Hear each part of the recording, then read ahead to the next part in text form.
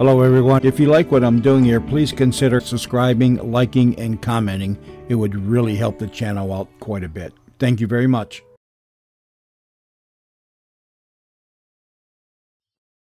The CBS Radio Mystery Theater presents.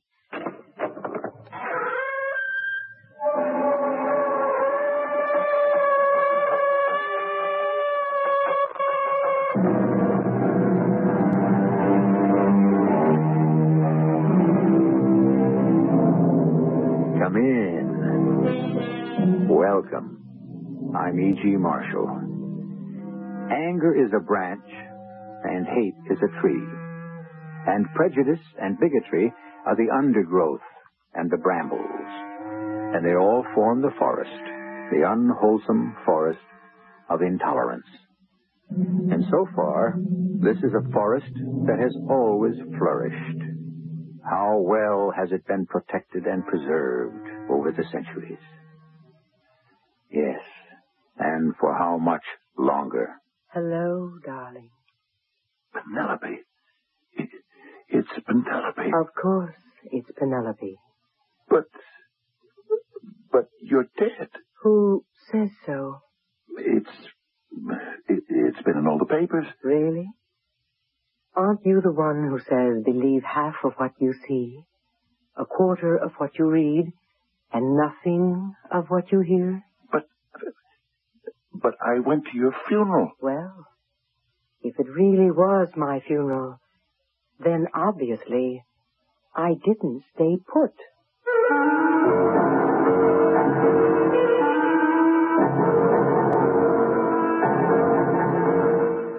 Our mystery drama, The Man Who Couldn't Get Arrested, was written especially for the Mystery Theater by Sam Dann and stars Fred Gwynne. It is sponsored in part by Buick Motor Division and True Value Hardware Stores. I'll be back shortly with Act One.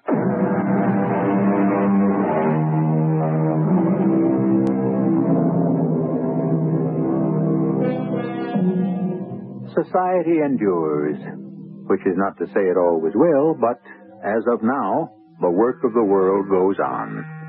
Most people can be depended on to do their jobs. Most people accept their responsibilities. Most people obey the law. And why? Is it morality? Is it citizenship? What keeps most people on the straight and narrow? Our little drama may cast a ray of light on the subject. On the other hand, you may find yourself deeper in the dark than ever. It is night. Late at night.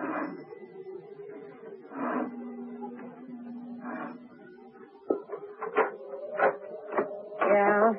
What do you want? Uh, madam, your sign says, Ringing the bell at this hour. your sign says rooms for rent, and I thought. You know what time it is. Oh, I apologize for the lateness of the hour. I run a respectable place. I'm convinced of it, ma'am.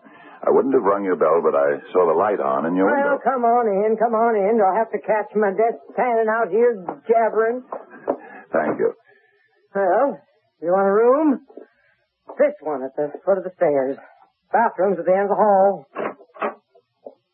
It's, uh, it, it's very nice. Yeah, well, so what do you want? A palace it ain't. But for 25 a week, well, take it or leave it. I'll take it. In advance. Oh, yes, of course. I'll uh, write you a check. A check, huh? I'm accustomed to paying all my bills by check. Yeah, I'll bet you are. Listen, Buster, first thing in the morning, I'm at the bank. If this thing bounces, you bounce right out after it. And one thing I don't put up with here, women in the room.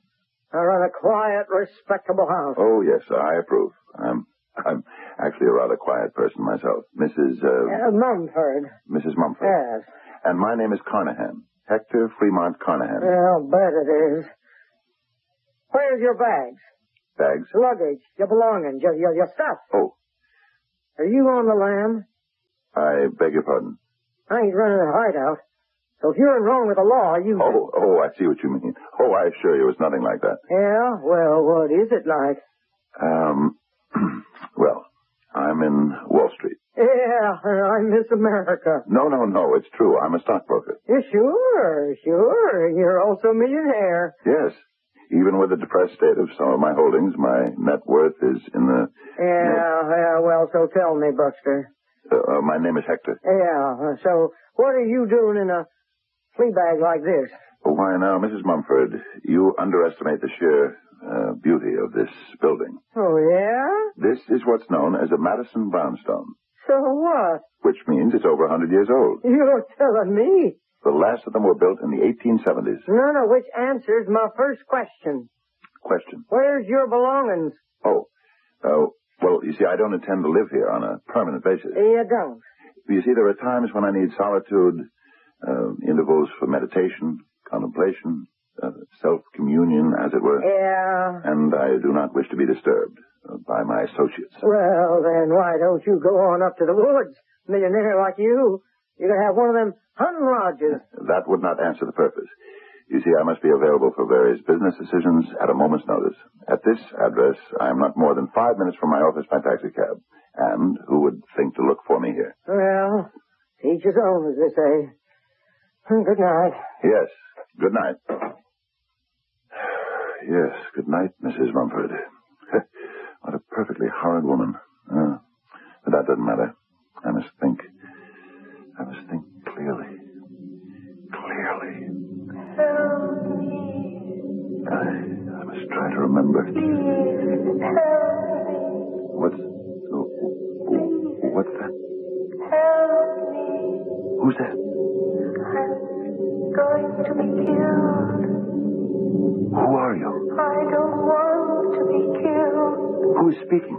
Don't let me be killed. Who are you? Where are you? I don't want to die. Who is that talking? Who? I never did anything wrong. You're in this room. He's going to kill me. Why can't I see you? Stop him, please. Stop him. He's going to. Who are you? Where are you? What's going on in there? Open up!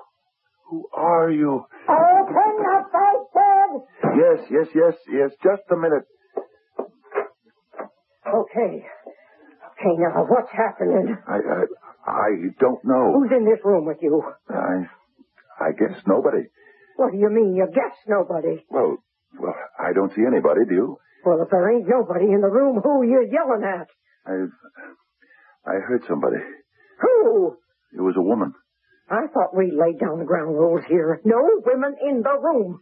She was in the room before I got here. Oh, you're crazy.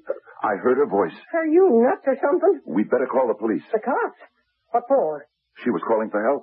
Who was calling for help? The woman in the room. Well, you said there was no woman. I, I said I didn't see her, but I heard her. Heard her distinctly. She's begging for help. Somebody's going to murder her. And when was this? It, it, it was just now. Yeah? Well, so why don't I hear her? Well, let's just be quiet and listen. I still don't hear her. But it was just as plain Are you as sure you haven't been taking too much sauce? I tell you. I heard her. Her voice. She's pleading. She, she doesn't want to be killed. She's, she's begging for help. Oh, all right. Let's put a stop to this. Now look. Is there anybody in this room? Any place that needs help? Now is there? Speak up. Well, go ahead. Speak up. Let's hear from you. Well, you hear something, Mr. Hector Carnahan? I, uh, Yes or no? well, I did just before. I mean right now. But Mrs. Mumford, I distinctly Oh, heard. Mr. Carnahan, I don't rent to drunks. Mrs. Mumford, I swear to you, I'm absolutely sober. Oh, well, then it's worse than I thought. You might bear in mind I don't rent to nuts either. Good night. But I heard it. I heard it. I heard a voice, a woman's voice. Oh, I must think clearly. Clearly. Please, somebody help me. I don't want to die. No, it isn't true. It's my imagination. It isn't true. I never hurt anyone. I don't want to die. I have to think. Think. Help me. Who are you? Help me. I, I'm getting out of here.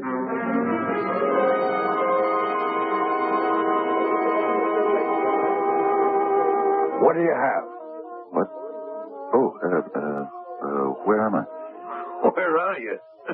well, if you have to ask, you don't have any business being in here. This is Harry's bar, pal. Oh, uh, I'll have a drink. Uh, anything. You sure you can handle it? Oh, I'm, I'm, I'm fine. Just, just fine. You're the doctor. Help me. Bartender, Yeah? listen. Do what? Don't let him kill me. Who is she? Yeah, who's who? That woman. What woman? I don't want to die. Don't you hear that woman? What are you talking about, buddy? I'm going to be killed. That's what I'm talking about. Don't you hear her? Ah, listen, friend. Answer me. Don't you hear her? Friend, you better not have one. You don't hear a woman? Why don't you just go home? I don't want to die. Sleep it off. Don't you understand? We have to help her. Yeah, sure. Can we let a woman die? Oh, well, why don't you go home, huh? You don't believe me. You, you're trying to humor me. Now, look, mister. You think I'm a nut. Well, okay, read this. My card. Uh, Now, look, why, why don't you just... Uh, Just read my card. Yeah. Hector Fremont Carnahan, okay. Read the rest of it. Go ahead. Carnahan, Dale, and Wallstein, yeah. CD and W, one of the largest brokers' firms on the street. Yeah, sure, sure. You don't believe me. I believe you. I believe you, yeah. You can't treat Hector Fremont Carnahan as if he was some kind of nut who wandered in here. Now, look, all I'm saying, pal, is you better not have a drink. What are we going to do about her? Her. The lady who who is going to die if we don't help her. look, friend, just take a walk, eh? You're going to let that woman die? Well, there's a lot of women in the world. One less. Is it really going to matter? All right, I'll go. But I hope you can live with yourself. The recent fall in the prices uh, of precious metals should not tempt the prudent investor into thinking he can get in on the ground floor. Hector, am I uh, interrupting anything? Oh, certainly not, Dale. I'm just doing my market letter. Oh. Uh, where were you last night? Hmm? Last night? Yes, you and Penelope were supposed to have dinner with us. Were we?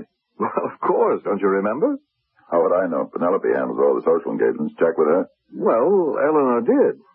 Yes, and what did Penelope say? I don't know. She couldn't reach her. She's been trying to phone Penelope all day. Do you know where she is? Probably at the garden club or the women's club. Well, it's strange. Where were you last night? Last night? Yes, you were supposed to be at our house, and when you didn't show up, we kept calling and calling. Well, as far as I can tell, we went out to dinner. If it was supposed to be at your house, then signals were crossed. Uh, let's see. Afterward, we went home. Uh, why? What's the matter? The matter? Well, you have a rather strange look on your face, Dale. Well, to tell you the truth, I, uh, Hector, there, there's a, Yes. What is it? there's a woman in my office, Yes? and she told me a rather unbelievable story Yes, about what? about you. About me. Yes. Her name is Mumford. Mrs. Marguerite Mumford. Uh, you, uh, know her? Marguerite Mumford. Uh, never heard of the woman in my life. Well, let me tell you what she said.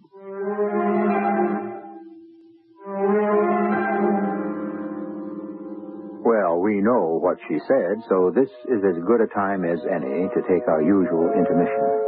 At any rate, we have presented you with two Hector Fremont Carnahans. One, the impressionable and frightened man who hears voices. The other, the hard-headed, no-nonsense man of business. Which one is he, really? He could be either. Neither. Or both. Act two, very shortly.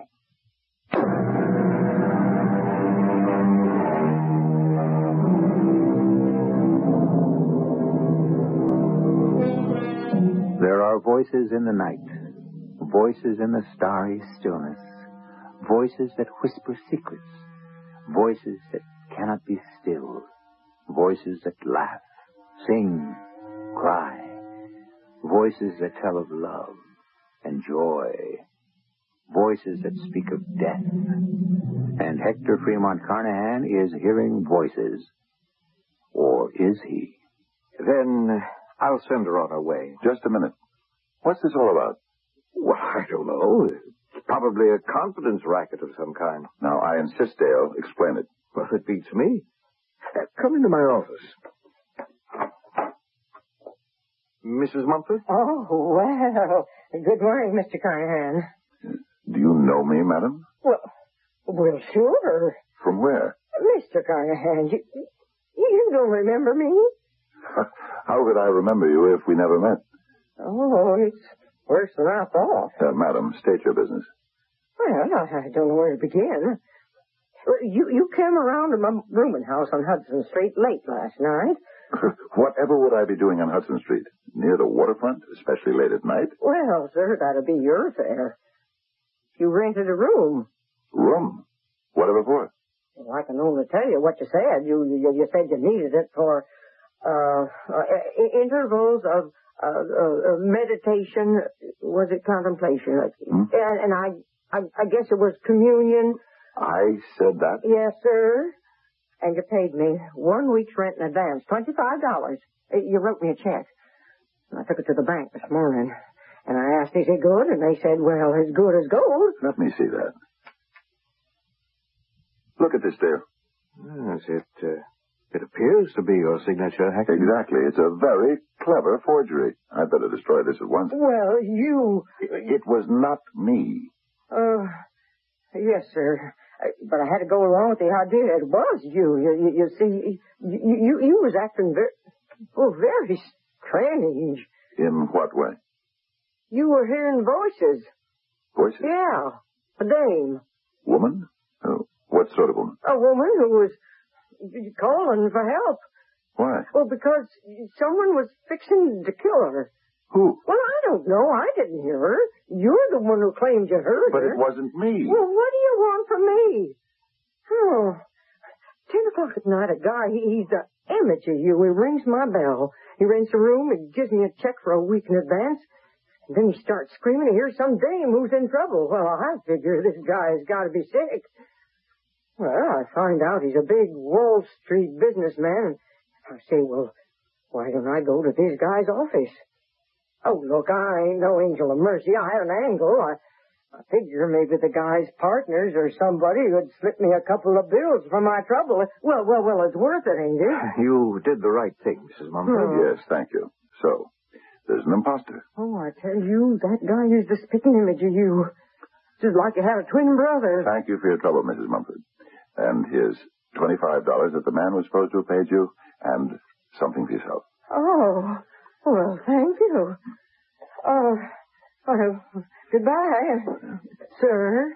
Goodbye. So, someone's going around claiming to be you, Hector. What's the fellow after, do you suppose? I could see where someone might use my name to steal service at a luxury hotel, but for a dive on the waterfront. Oh, excuse me, Hector. Yes? I'll put her on. Is that my wife? No, no, it's mine. Uh, Eleanor? Uh-huh. No, I, I just spoke to Hector.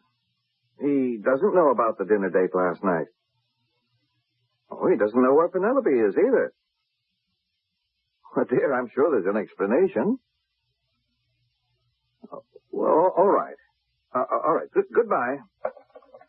Well, she's been trying to reach Penelope. Oh, I'm sure there's some explanation. We'll get it all sorted out when I see Penelope tonight.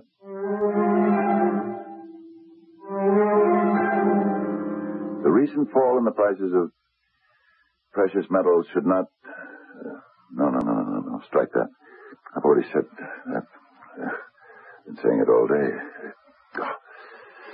I have to think. I have to think clearly. Clearly. It's six thirty. What's happened to the time? Everyone's gone. I have to think. I'm slipping.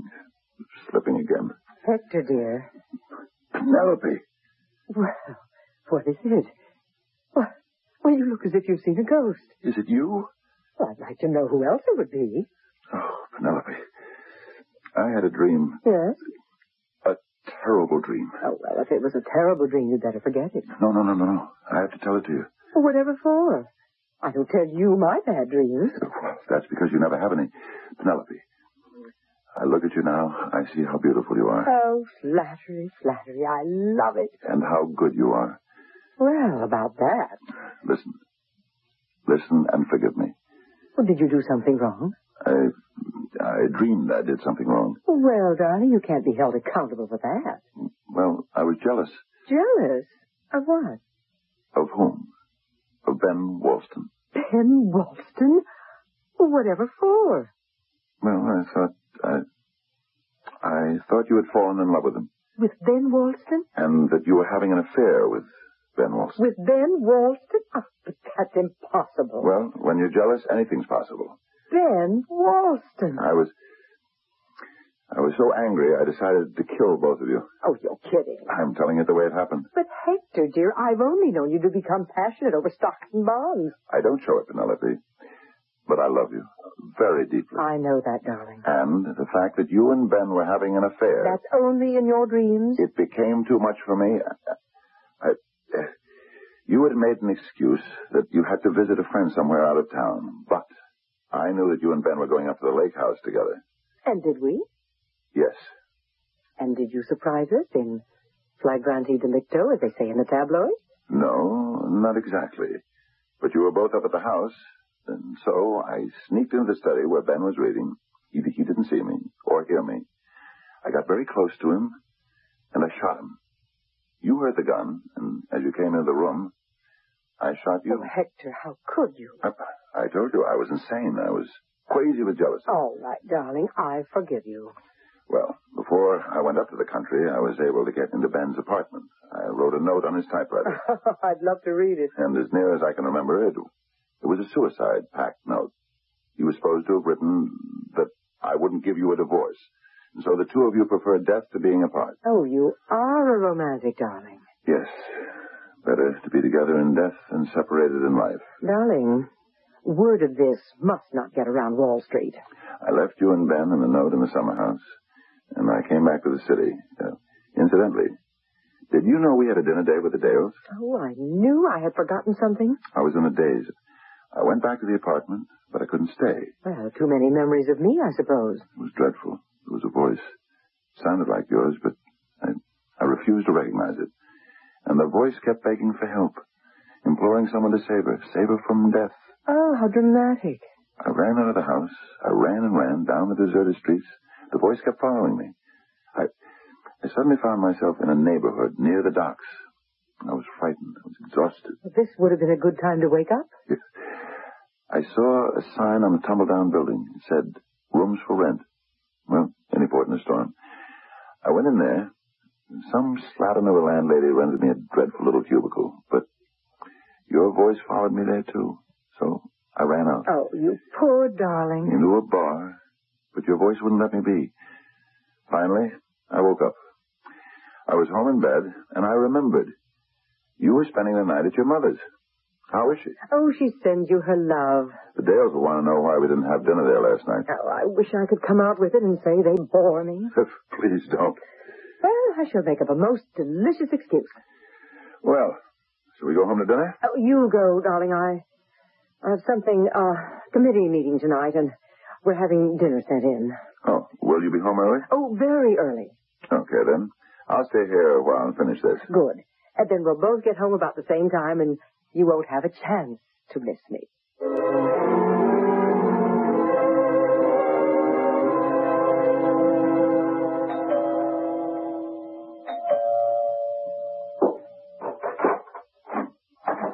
Uh, Hector, Dale, come in.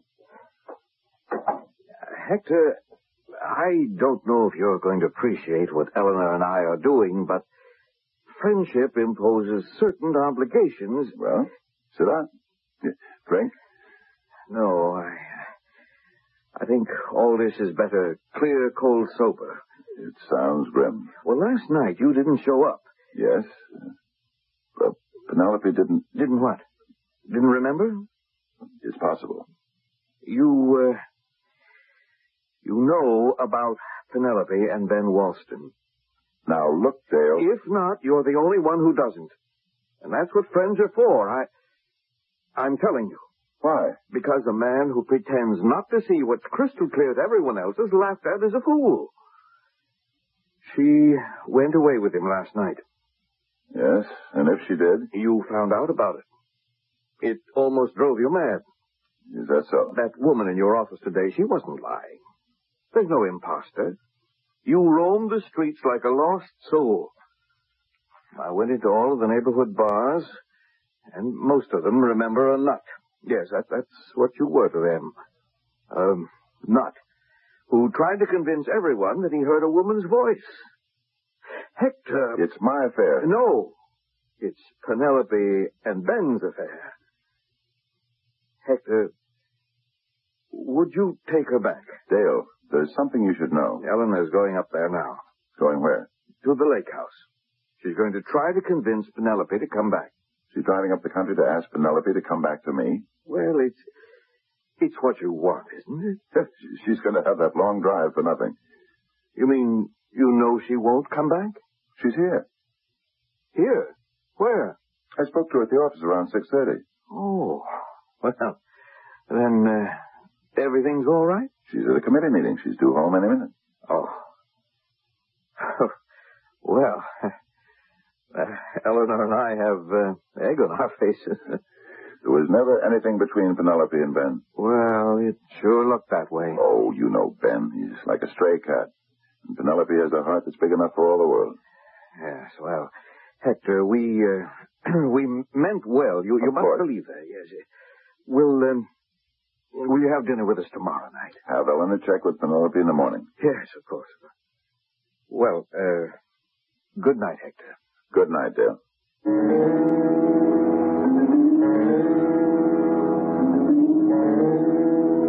Darling, What? Oh, no. I must have fallen asleep. oh, I'm, I'm sorry the meeting ran a little later than we expected. Oh, that's okay. Oh, I just want to get into my nightgown and. Oh, I'm sleepy too. Oh, I'm glad you woke me. Oh, am I glad. I I had this dream. Oh, another one? It it was about Ben. Oh, go back to sleep, dear. He was so terrible. I have to tell him about it. Well, I'm sure he doesn't care to. I must, I must, I must. I'll, I'll call him now. Darling, I'm sure he's asleep. All right, then you call him. Say I have to tell him this dream. Tell him he must come over right away. To hear a dream? Yes, to hear a dream. Please, Penelope.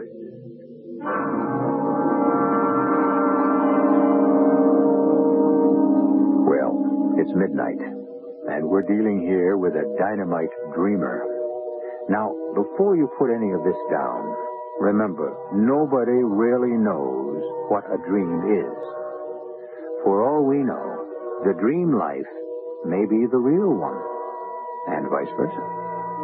Especially to those people who have learned how to develop the capacity to dream. What's this about a capacity to dream? Is there proof such a thing exists? Well, is there proof it doesn't? In just a few moments, I'll prove to you that we have a third act.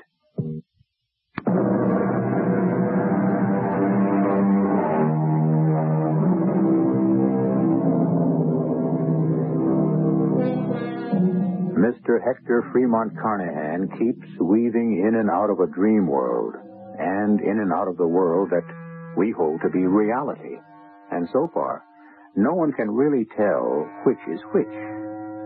And that's par for the course because who really knows what's what about anything these days? Now, what's this all about, Hector? Ben, we must make peace. Why are we at war? Yes, you and I are at war. Oh, it's the craziest thing I ever heard of. Please, Ben, just listen to Hector. I felt so strongly, I was sure. Some of my emotion had to be communicated to you. Well, perhaps it was. I would dream violent dreams about it. Oh? Just this evening, I dreamed I was at your house and I was waiting there to kill you. What for? Jealousy. Then he had the same dream about me. I just want you to know how I felt, Ben. Well, you've nothing to be jealous about, Hector. I think hatred cannot be concealed, especially when it's so all-consuming. The one who is hated must be able to sense it. Did you? Well, Uh, Will you forgive me? well, certainly. That is, if you think I have anything to forgive? Ben, I killed you. In my dream, I killed you. But I want us to be friends, the three of us, the way we always were. Can we go back to that? Ah, Hector, I, I'm not aware that we ever left it. Oh, Ben. Ben, that's a load off my mind and a, a weight off my heart and a burden lifted from my soul. Oh, that's beautifully put, Hector. Beautifully. I couldn't have said it better myself. You're not supposed to talk like that, you old stockbroker, you. Suddenly I feel tired. Oh, it's late. Very late. Well, uh, I, I'd better be running along. Good night, folks. Oh, don't bother. I'll let myself out. Good night, Ben. Yes, darling, I'm tired. But, but for the first time in ever so long, I'm pleasantly tired. Oh, that's good. Happily tired. The way you're supposed to be. Now, dearest, you just close your eyes Yes. and get to sleep. Yes, I'll do that. Uh, uh, Penelope, Darling, get to sleep. you, would me, would you? Oh, you're so silly. Why would I? Well, because I'm, I'm so dull. Oh, nonsense. I'm, I'm not an exciting person. I'm, I'm not a clever person. Now, dear,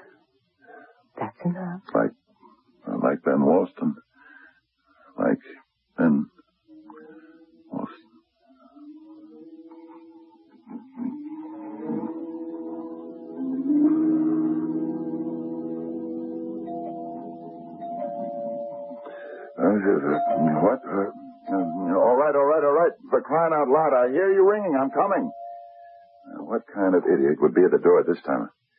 Who's that? Uh, it's me, Dale. Dale. Hector, Yes, me, Hector. Who did you expect? I, I have to talk to you. It's four o'clock in the morning, I Dale. I know that. Well, well, what is this thing you have to tell me at four o'clock in the morning? I can't wait. Hector, I, I don't know how to say this, but, Yes, but what? well, I, I never had occasion to tell something like this to anyone before. Something like what? Come on, come on, come on, out with it, man. I just got a call from Eleanor. So? She's up in the country. And, well, I told you she'd gone up there to see if she could effect a reconciliation between you and Penelope. Didn't I tell the two of you you were dead wrong? Well, she'd already left our house by then. So she had the trip for nothing. She's up there now. And she found Penelope. How could she find Penelope up Now, there? let me finish this, Hector. It's, it's hard enough to say. Penelope's dead. You're crazy. I wish I were. Let me prove it. Penelope's here. But I just spoke to Eleanor on the phone, and she You were dreaming. Now, Hector, please, get hold of yourself and listen. Come with me. Where? Into the bedroom. You'll see for yourself. What'll I see for myself? Penelope. She's here. She's been in bed all night. Hector, you have to stop fighting it. Will, will you please come on in? Come on, come on. You have to accept it. What are you waiting for? Just come this way. Dale, in here. But don't wake her up. she hates it when somebody breaks up her sleep. There. See? See what? Penelope. Fast asleep in bed. Hector. There's no one in that bed. Dale. She was, she was here just a minute ago. Hector, sit down. Ringing the bell. You probably woke her up. Should I get you a drink or something? So she must have gotten out of bed for a minute. Penelope? Hector, Penelope. I know you're here. he isn't. But we were just in bed. Eleanor went up to the summer place. I don't care what Eleanor says. I know. She says she walked into the house. Dale, this is the strangest thing. The lights were on, and the first thing she saw, she saw Ben Walston. He was dead on the floor. Now I know you're crazy.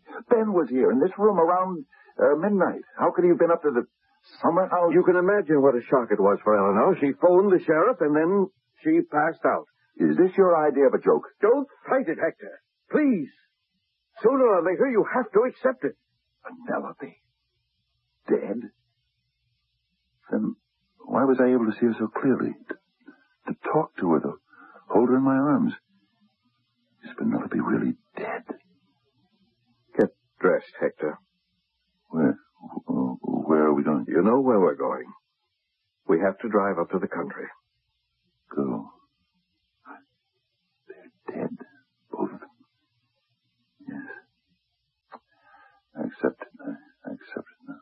It's going to be very bad for you for a while, but this is the first step you have to take. Until you do this, you'll never recover. All right, Dale. Let's go. I'm ready.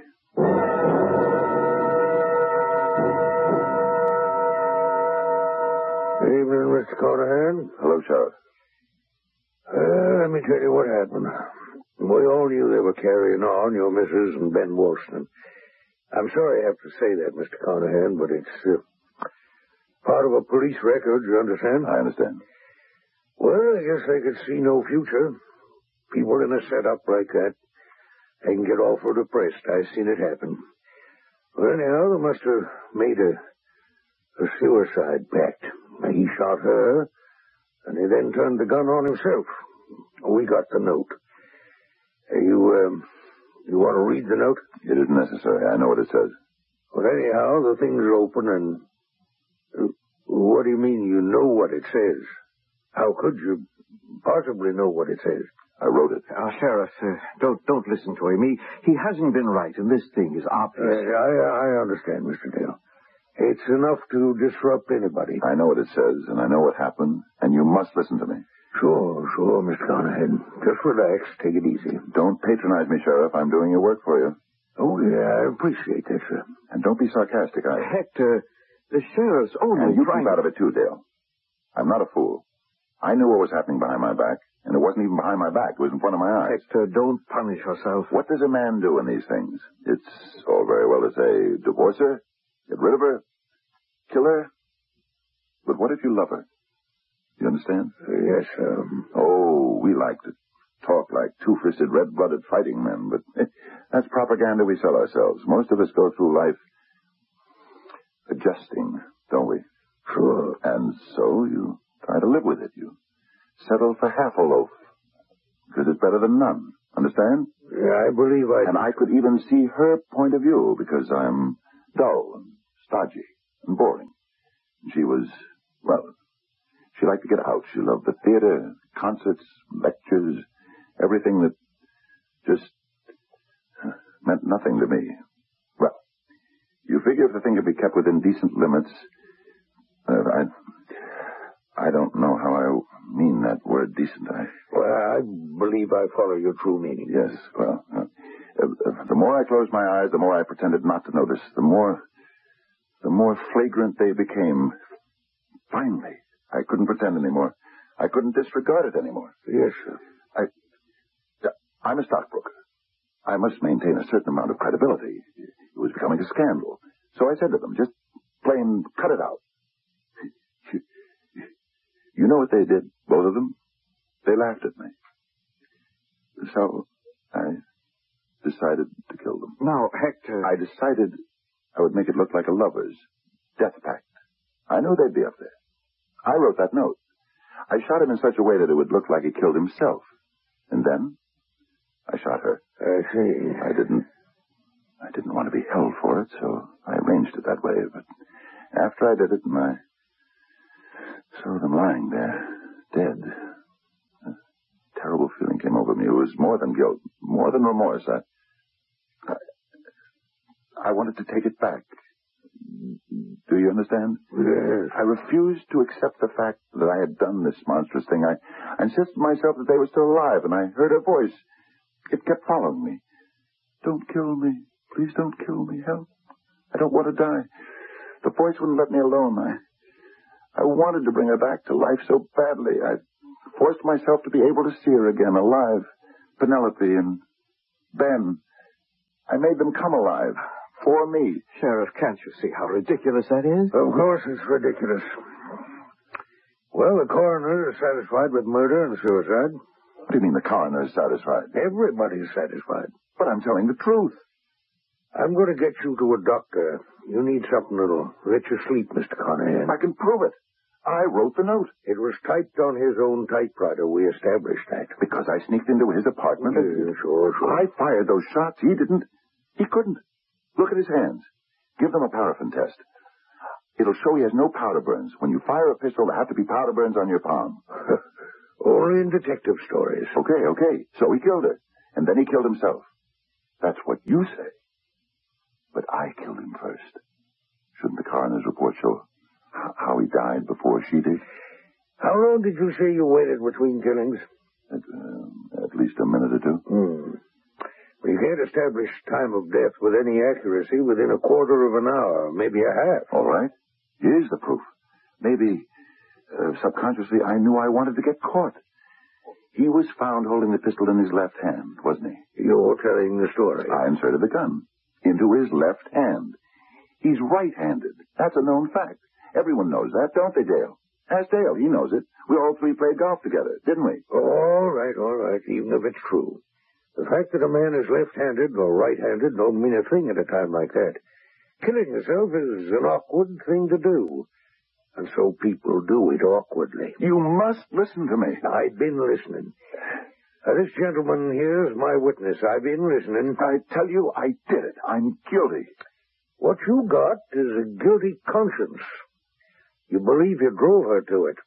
So you feel you're as guilty as if you'd pulled the trigger yourself. But I did. Twice. I'm guilty. Won't you believe I'm guilty?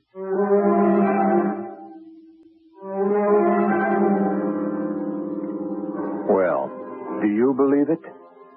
No one else did. The louder he shouted, the more people smiled tolerantly. Then, of course, as happens in these affairs, people's patience wears a bit thin. And finally, the only way to handle the situation was to place Hector Fremont Carnahan in an institution, where he insists to this day he is guilty. I shall return in just a few moments.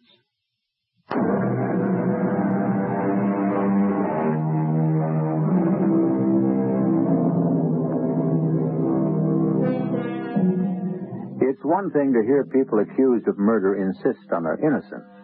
It's quite another to hear people who are not even suspected insist on their guilt.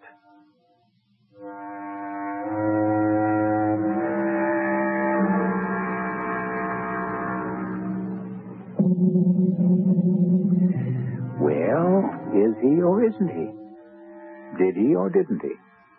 We left enough clues in the story, but unfortunately, they could support either point of view. The only people who know for sure are Penelope and Ben. And how can they possibly tell us?